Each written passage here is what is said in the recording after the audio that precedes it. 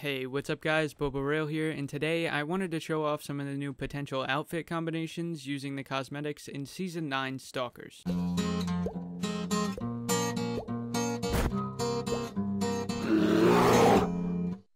So the other day when me and Chris were doing our review of this battle pass, we noticed that some of these cosmetics would work really well with each other or with existing cosmetics from previous seasons.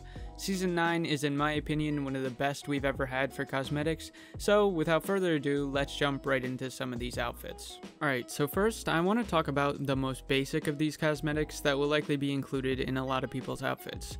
That of course being the Zone Patrol jacket and jeans, which has three variations, those being Veteran, Camo, and Rugged. These will likely be a lot more popular than the Stalker sets because of the fact that you can change out the headgear with these. So really, these are just nice dark bases to put whatever you want in the headgear department. The one I want to showcase for the veteran style here is my SAS operator. This is kind of the reference image I was going for, but like I said, this jacket with jeans is just a really good base for any special forces blacked out type builds. So you can really do a lot with it. Next style we have is the camo, which is really good for forest-based builds and things of that sort.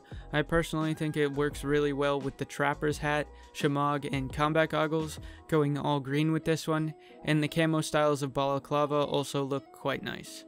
And then for the last style, I'll talk about the rugged variant a bit more later in the video. Next up, I want to talk about the new headgear set, that being the Masked Defender. Now, interestingly enough, this is just the Altyn we got in Season 4, without the front face cover, and with a balaclava underneath it. But this, when paired with the Mercenaries outfit, makes a really awesome looking Russian FSB build, or the counter-terrorist unit for the Soviet Union. This complements the AK series really well, so I think I'll definitely see myself running this at least some point during the season.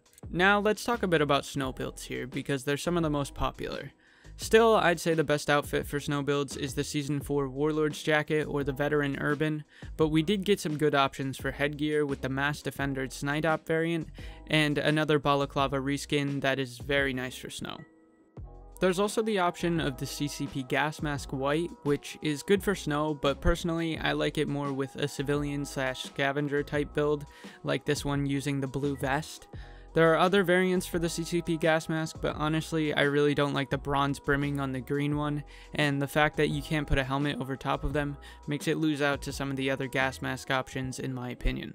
Now to close this video out, I want to go back to the Zone Patrol Rugged and really embrace the Stalker fan in me. So here I made a build that I think complements the new shotgun skin and closely resembles the early game bandits from the Stalker series. This bandolier bag is honestly what makes the build for me because those shotgun shells across the strap are just so clean and I think a lot of people will be using this. Oh, and quickly I'll show off the three full body sets for this season, which are cool and I like them, but I prefer the other gas masks over this new one, so I don't see myself using them that much. Anyways, that's all the outfits I've got for you guys today. I hope you all enjoyed this showcase of some of the new cosmetics. If you'd like to see some more, just comment down below or join our Discord and ask me to make a specific build. This has been Bobo Rail, and I'll catch you all in the next one.